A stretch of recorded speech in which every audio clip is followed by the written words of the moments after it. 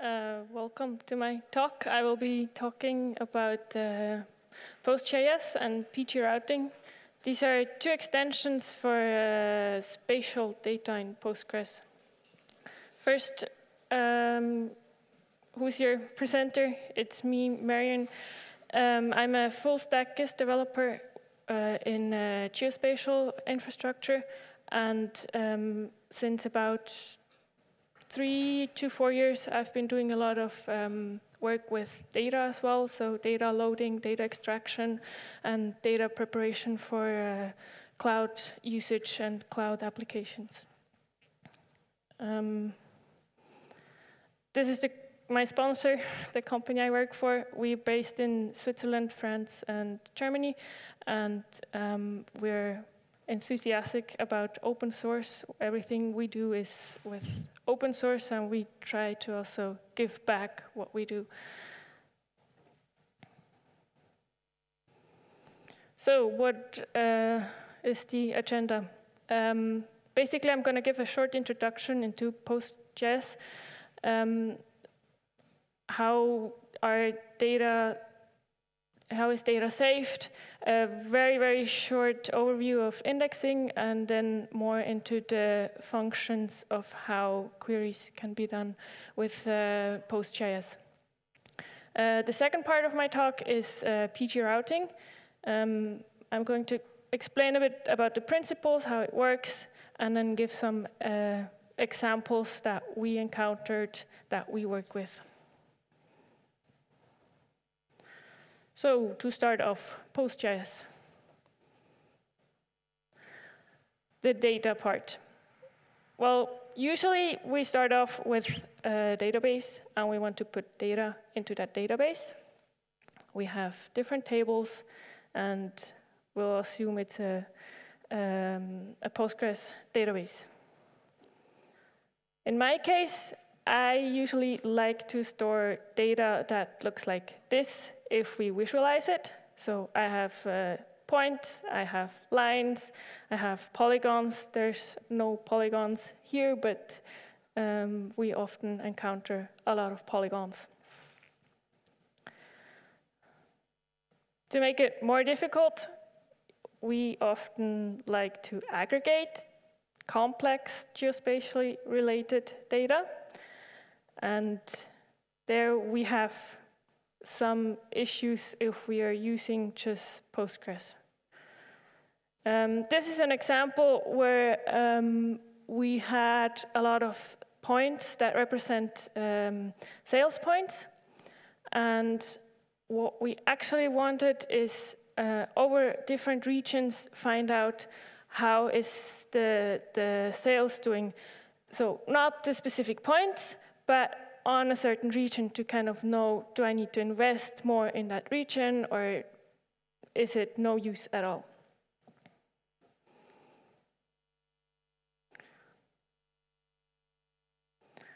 So we use a lot of PostGIS. Post, uh, PostGIS. That's the extension that, that saves our lives if we have these kind of geospatially related data. Um, what is nice is now we have the database as before, and we have the data as we had it before, and we can also have geometries in that database.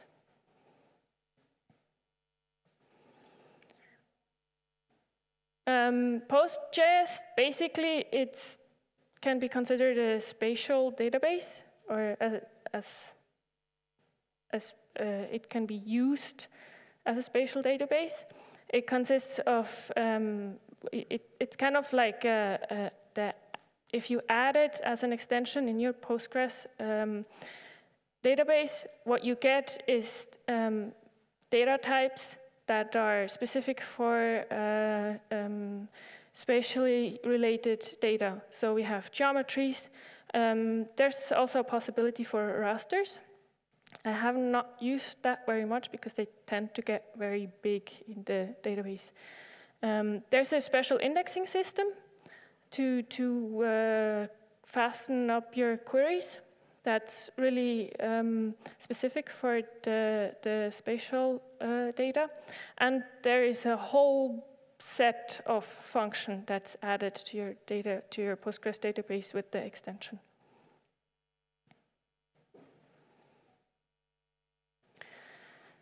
So what data types are there?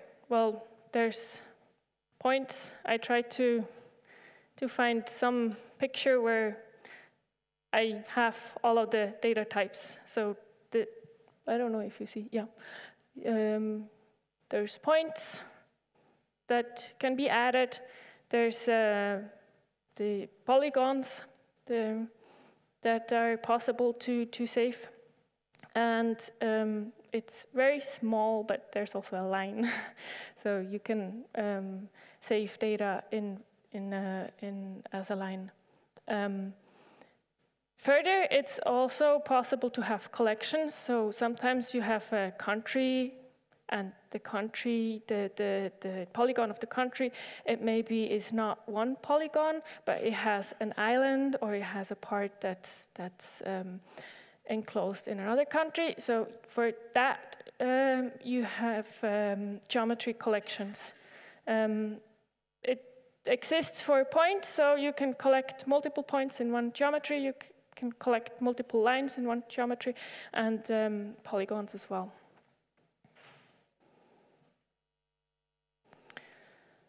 Um, as I said, I will keep the indexing part short. It's, it's actually a topic on its own, but just basically um, indexing is it's quite important. Um, I think I have not added a um, geometric um, row in a, in a database where I did not add an index as well.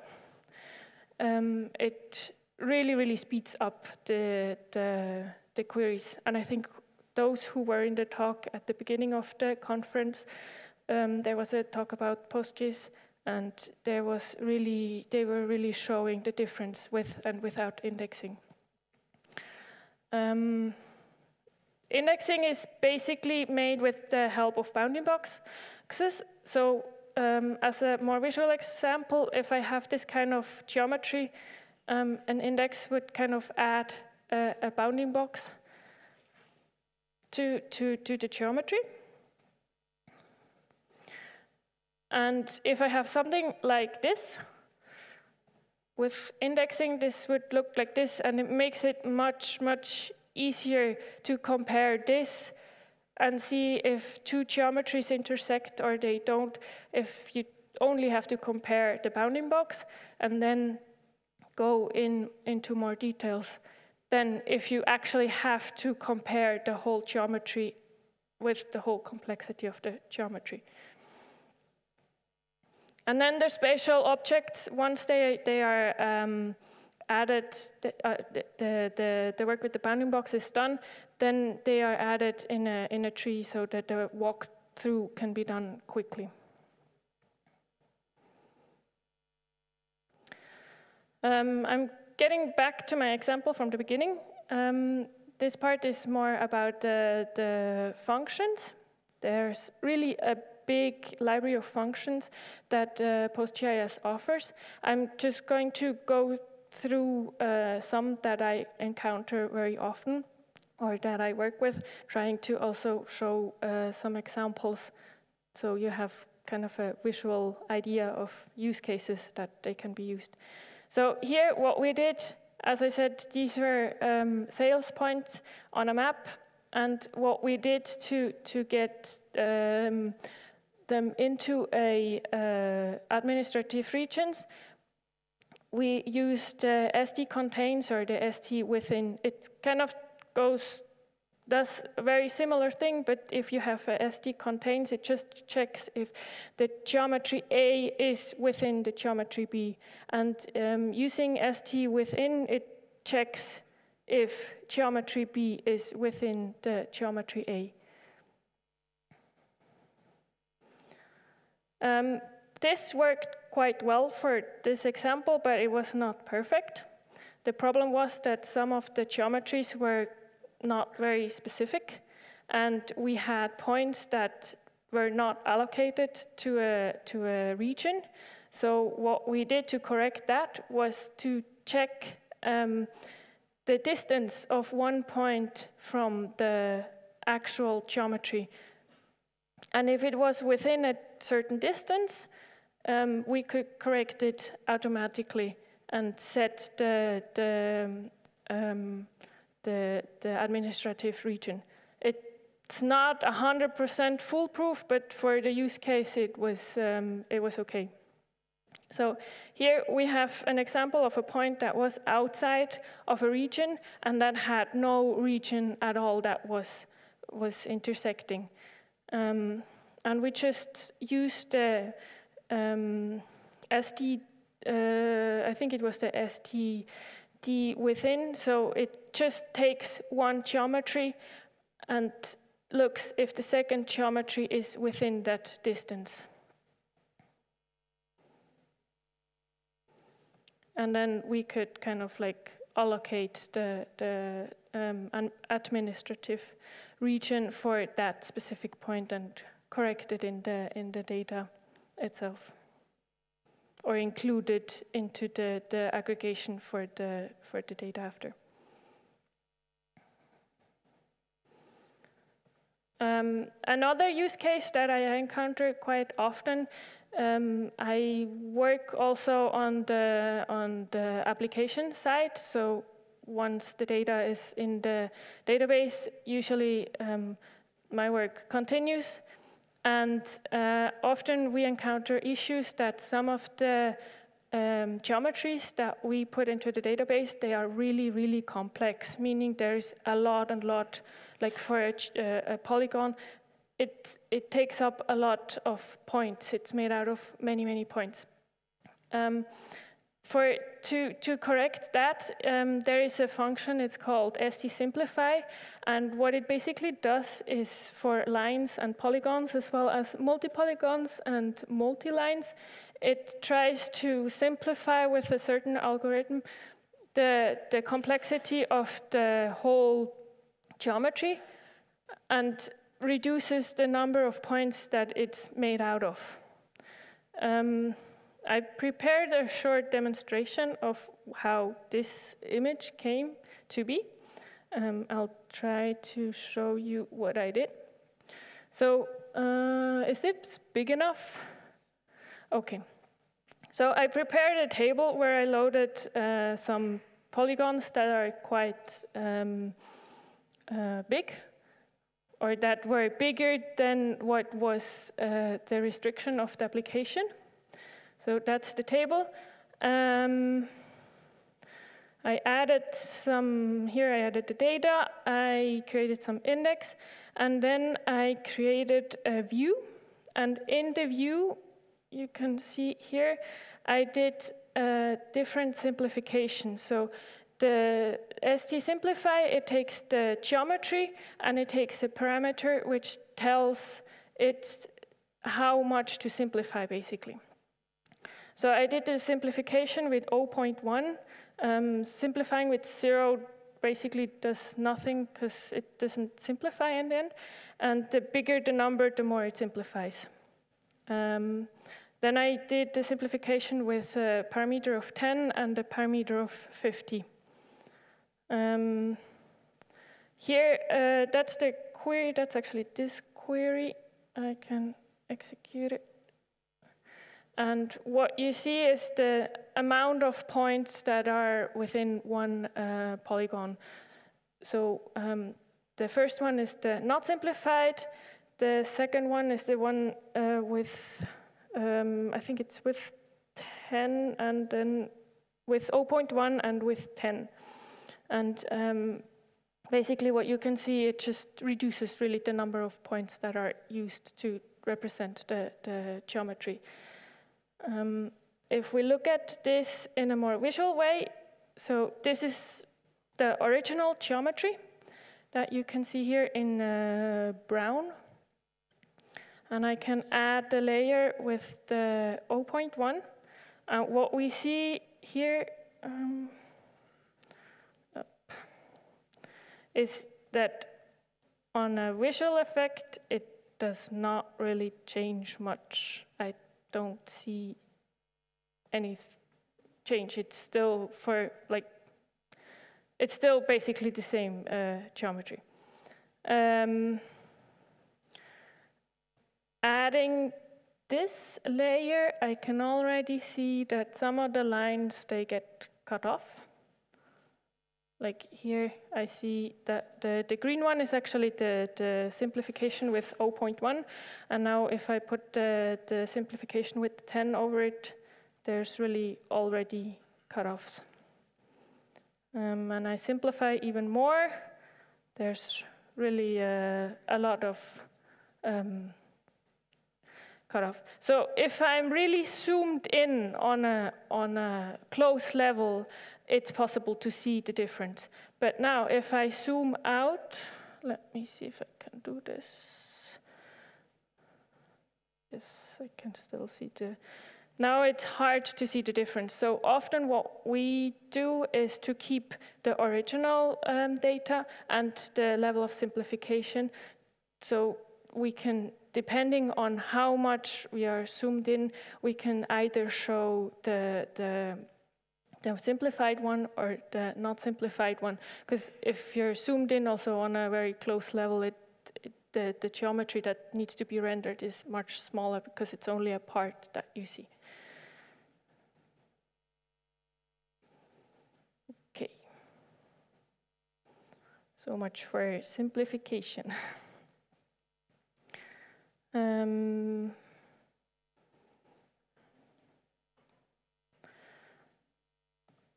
So next, uh, pgRouting. Um, what is pgRouting? Um, basically, what is the idea that um, behind it is that you want to find a shortest path with a minimal cost between two points on a graph. So you have nodes, vertices, uh, graph orientation and cost. The cost is what, how much you pay for going from one node to the next. Um, to do this, um, a very useful extension is the pgRouting, and it brings the, the advantage that it's the, the whole routing process can be done within the, the Postgres database. Plus, you can make use of uh, PostGIS because routing it's often um, a question of geographical uh, spatial data. Not always, but very, very often. Um, so the first thing to do when we want to use pgRouting is we have to translate the graph into a table so that it can be saved in the, in the database. Um, basically, uh, what is done is we have an ID. Um, there's a source. The source is where we start, and the target is where we go. Uh, the cost from going from that source to the target, and then the reverse course, the reverse cost, which is um, going from the target to the source, the, what is um, the cost. Um, if we put a minus one, means it's a path that we cannot take. So for example, going from E to D, uh, no, going from D to E is not an allowed um, path. Um, this is how uh, it would look in real life. So that's a very, very simple, simplified uh, example just to kind of get an overview, but um, that's what uh, we have in an actual database that would look. That's a, an extraction from data from the here map. And um, as you can see, we also have actually path. It's maybe like a one-way uh, street here that we cannot go.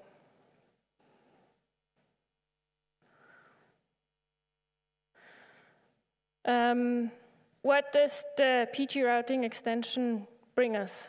Basically, it brings a big set of different functions that we can call using um, SQL. Um, like uh, some examples are the, the Dijkstra algorithm or the A-star algorithm um, that are used to find the shortest path. Um, the function struction, it's kind of universal for pgRouting. Um, you have the PGR prefix with an underscore and then the name of the function. Um, then you have the, the inner query and um, depending on what um, which, which uh, function you use, you have parameters and optional parameters. Uh, at the very bottom here, I have an example of the, uh, it's the, the turn restricted shortest path function.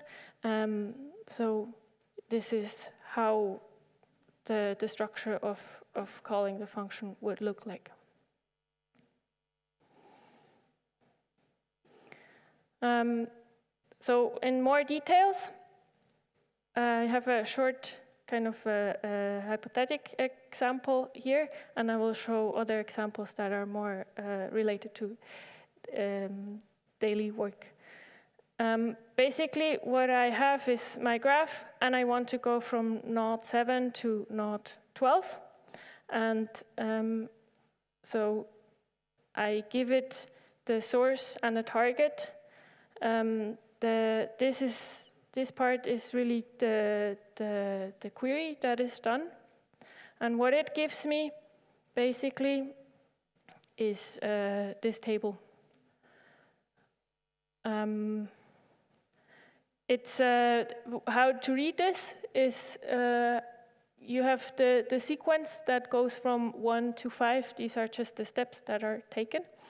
Um, the node where it starts and the edge that, that it takes and what the, the cost is for this edge. So here it goes from uh, 7 taking the, the, the, this path to, to uh, node 8, and it's at the cost of 2. Um, and then it continues to 5 at a cost of 1, and here it actually has a choice to between three paths, so it takes the, the, the well, not the cheapest, but in, in overall, it, it needs to be cheapest. Um, and then when it gets to node 12, it's done, and it sets minus one for the edge because it's, it's arrived where, where you set the, the target. And the cost is zero. Um, so I'm going to show a couple of live examples where we implement pgRouting.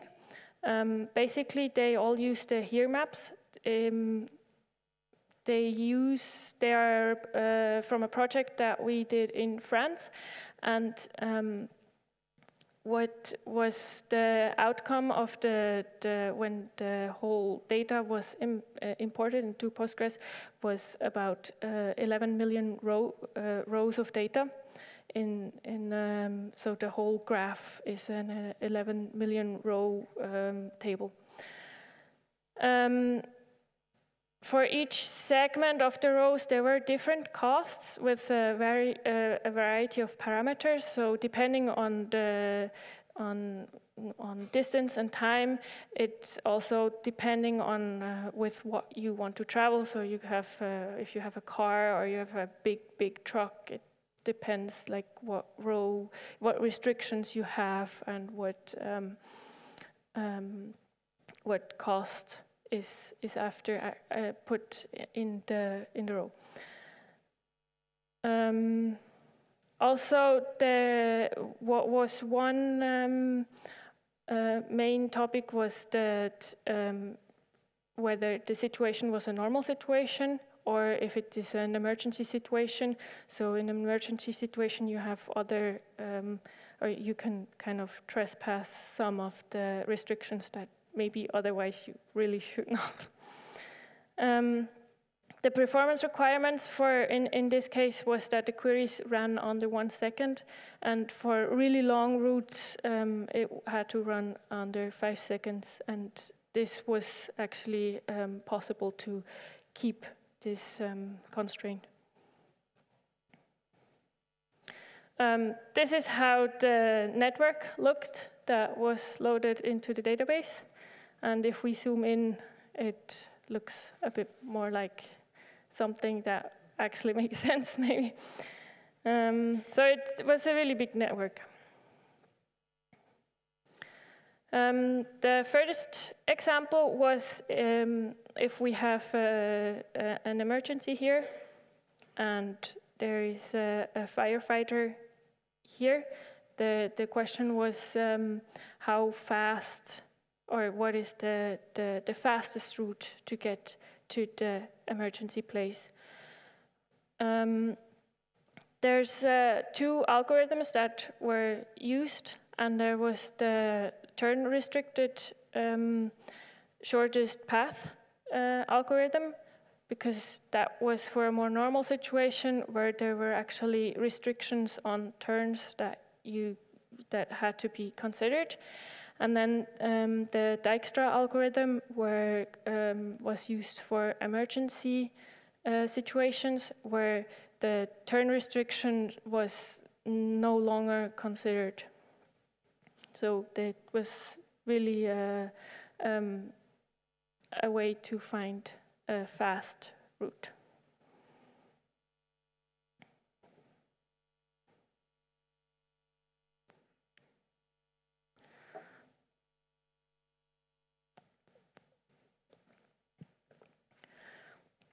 Another example that was done was um, if you start at A and you want to get to E, but in the meantime, you have a couple of points that you want to visit in between. So there's a point B, there's point C, D um, that need to be visited, and uh, you want the, the fastest route to travel through those um, um, through that, th those points. So um, there's a, a, an actual function that uses the traveling sales salesman or that, that has a solution to the traveling salesman problem. Um, and it's called that in short TSP. And uh, this question was actually solved using uh, uh, that uh, um, function in pgRouting. What is also possible is to use isochrones or isodistance um, um, functions. Um, basically, what was the question was to estimate the, like if you have a, a crime and the bank was robbed, the, the police, they might want to know how far do the robbers get in a certain amount of time. Um, for that, um, the PostGIS was used as well as pgRouting. So the in, in pgRouting, first the driving distance was determined. So you had the start point, and then um, you set a, a, distance, how far um, this could be how far they could go, and you calculate what what is returned. Um, and then in PostGIS, uh, the function a function was used to to get all of the points and put them in a polygon. So what was returned from uh, pgRouting uh, was used after with a PostGIS function to get uh, um, to aggregate them in one polygon. Um, this looks kind of like this.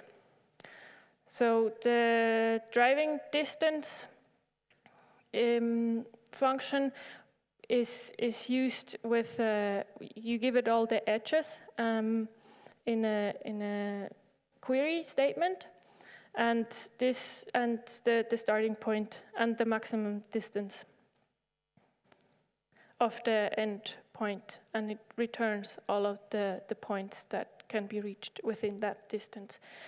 And what it returns is a set of um, a, a, sequence, a node, an edge, and a cost table, similar to what we saw before. Um, and in, in the next step, the, the table that was returned um, was taken, so all of the points were taken and they were put into the, the convex hull. Uh, it's just the name of the function that does kind of all of the, uh, that, that after creates the uh, polygon like this. So if you have all of the points here, it would create a new geometry out of this.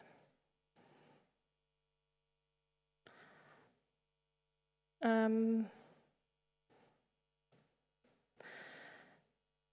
and what came out was uh, graphs like this if they are visualized on a nice uh, map.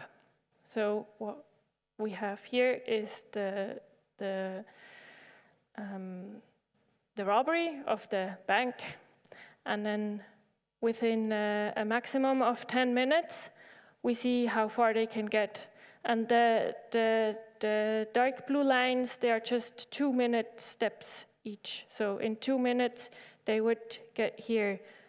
In uh, four minutes, it's possible to reach this part and so on.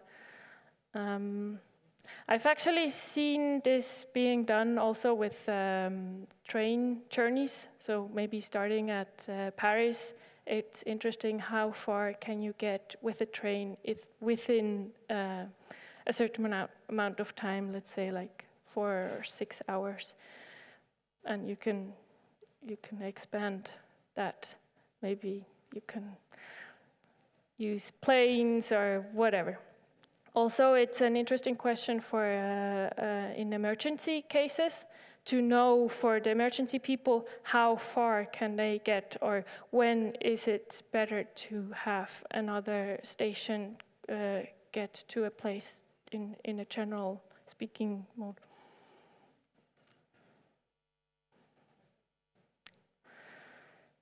So pgRouting, it's what does it answer? What kind of questions? Well, uh, a lot. um, um, basically, as a summary, it can be used to find answers to uh, questions of what is the shortest or the fastest path between two points, A and B. Um, if you start at A and you want to end at a multiple different points, it can give answers to that.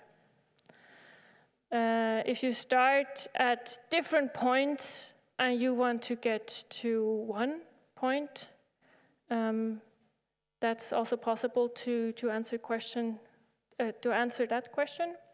Or also even if you have like multiple starting points and you have multiple endpoints, you can, uh, you can use pgRouting. Um, and uh, one important or very interesting question that is also answered is the, the traveling salesman problem that we saw before with the different, um, uh, sorry, this one, that you can visit different places while traveling from A to B. And it gives you the shortest path. Um, advantages, um, you have the access to the full functionality of the whole Postgres that's, that, that, that's uh, there for the basics, as well as you can combine it with PostGIS. Um, as we saw before, the routing questions, they are very, very often also um, geographical questions. Um,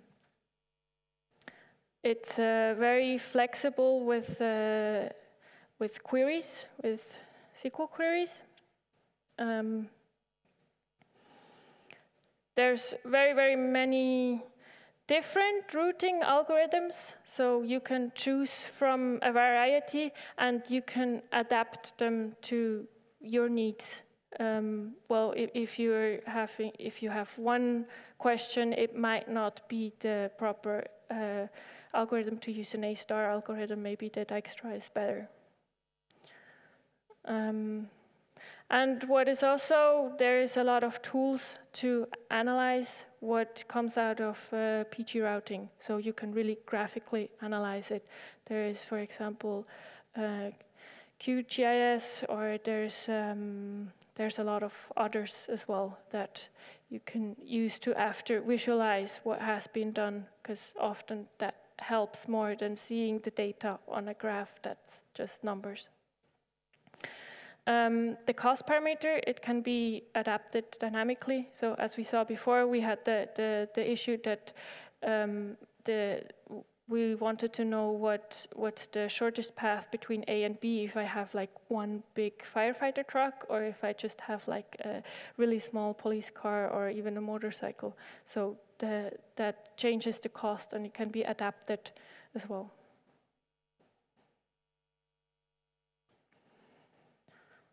Um, pgRouting, it's powerful together with PostGIS as well as, as a standalone.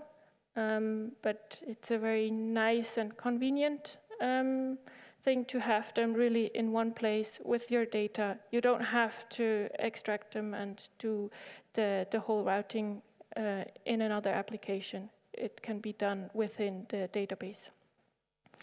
Um, they are both open source under the GNU public license, and they have a really long uh, history as well. I think uh, it's up to 15 to 20 years that they already exist, so it's uh, uh, quite a solid um, uh, uh, extension, both of them.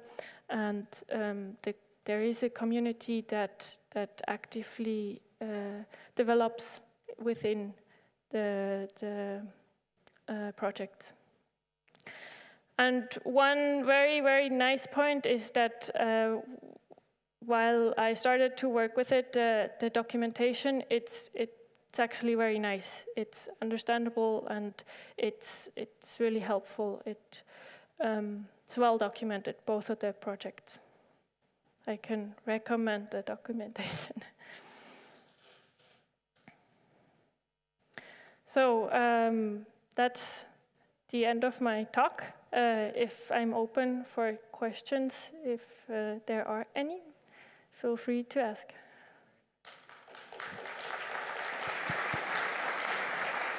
Thank you so much. Other questions?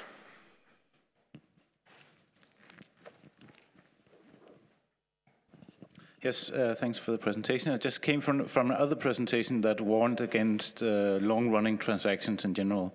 And then you mentioned uh, the traveling salesman problem, and I foresee all sorts of situations with uh, very long running transactions. Is it possible with pgRouting to set a bound on how long the individual queries run so that they don't cause trouble? Um, I haven't seen that yet. I think it's not possible, but I'm not 100% sure. Okay. But yeah. Uh, it can be set uh, generally for, for user running queries or for server instance. Thank you. Hi, thank you. And uh, about the routing things, they had as a first argument the query. Is it uh, is it already limiting uh, and it's just used to get the dot point, so does it somehow use the query multiple times? Do you know about the internals there, the routing functions? So for example, if you have a map and you have 11 million points, then would you give the query that returns the 11 million points and then it goes there, or do you restrict yourself already the points? Um, you can restrict the points. Um, basically, if we look at let me go back to uh, this.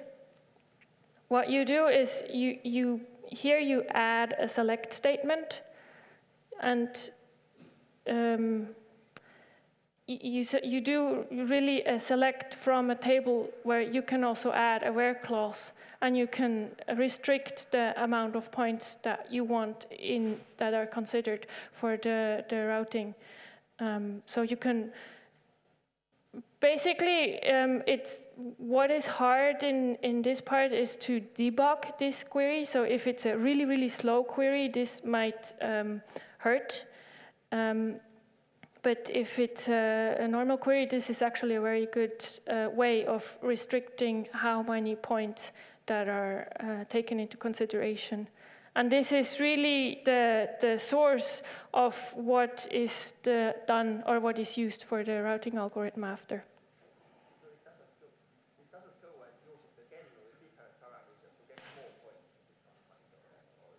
No, it really looks at, at this. Yes, yes. Hi, thanks for the talk. Uh, I was wondering if uh, topology is handled. I mean, when you have polygons and you just define a topology of points, so that defines polygons, for example, is that handled in PostGIS? And do you use that? Um, so you mean if you just have like points without? Uh, yeah, like in OpenStreetMap, when they define areas, it's just only points. Yes. And a way of connecting points one to each other, like a topology definition. In is it uh, is it handled this way in uh, PostGIS? Uh, yeah, well, basically, uh, OpenStreetMap is not that easy because they have quite a complex way of defining their um, their their geometries. But there's actually connectors, so you can export the OpenStreetMap data and import it into into uh, PostGIS. Um, yeah, I was um, talking, for example, if you have in the simplification example you gave. Uh, further up, I guess. Yes. If you have two polygons that are touching, that share an edge, and you simplify, can you simplify both polygons at the same time? It just simplifies the edge and both polygons get simplified. Yes.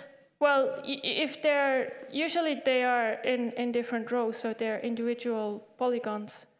Okay, so. So it, each one would be simplified okay, on its own. So there may be gaps between them after simplification? Yes. Okay. Other questions? I'll come over there.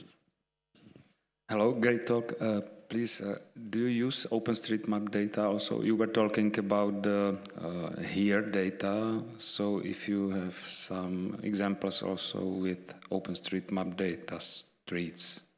Yes, we, we actually use it a lot. Uh, actually, the, um, the example I gave from the here map, we started off with the OpenStreetMap, and I think in the end it was a, a, a requirement or something that they, they ended up using the here map. But um, I think OpenStreetMap is really great. And also uh, in this example here, we actually used OpenStreetMap to extract all of the, the different um, um, administrative regions. So it, it was a bit of work to kind of get everything the way we needed because there's a lot of tags and you have to kind of figure out what you need really to extract. But it, it, um, it was uh, really nice to use OpenStreetMap, I thought. Okay, thank you.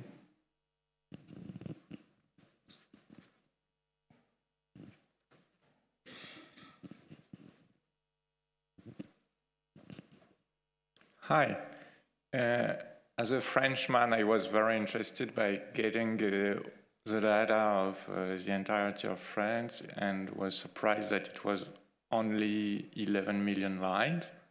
And maybe this question has been already partially answered, but can you elaborate on how you, the, the process of extracting the data, so from OpenStreetMap, if I got it, and uh, loading it into Postgres? Um, so it, there's two different uh, things. The, the data that we extra that was extracted for the, the the whole of France um, that was based on here maps. And I'm not sure if they actually did some um, uh, some restrictions because I did not really do the data extraction. It was uh, uh, my work colleagues who did that part. Um, so I cannot tell you if it's really all of France or if they they left out some uh, parts that were not needed for some reason. Um, for the second question about the OpenStreetMap data extraction, um, there's uh, there's actually engines that you can use. There's uh, um, well, the whole database it's quite large. Uh, you can extract the whole world. Um, I think it's about uh, yeah I don't remember but it's in a terabyte in about 100 or 80 terabytes, I think, if you have, take the whole world with all the streets and, and all of the data that it offers. But there's also possibility to get data packages from uh, different countries um, that are smaller. Some of them are um, just the country entirely, or you get different regions of countries, and then you get, I think it's, uh, there's different um, types that you can extract. I think you can extract shapefiles and geodatabase, and then you can just import it. And as far as I know, there is also engines that you can export it directly into Postgres. That's the PGOSM or PG2OSM engine. I have not used that uh, personally, but I've used uh, like the, the a lot the there's the query engine for OSM, so I use that to kind of just extract a, a part and have a look at it. Thank you. I have time for one more question. All right, Marion, thank you so much for your time and enjoy lunch. Please don't forget to do uh, reviews and for the conference and for the uh, talks. Well, thank you.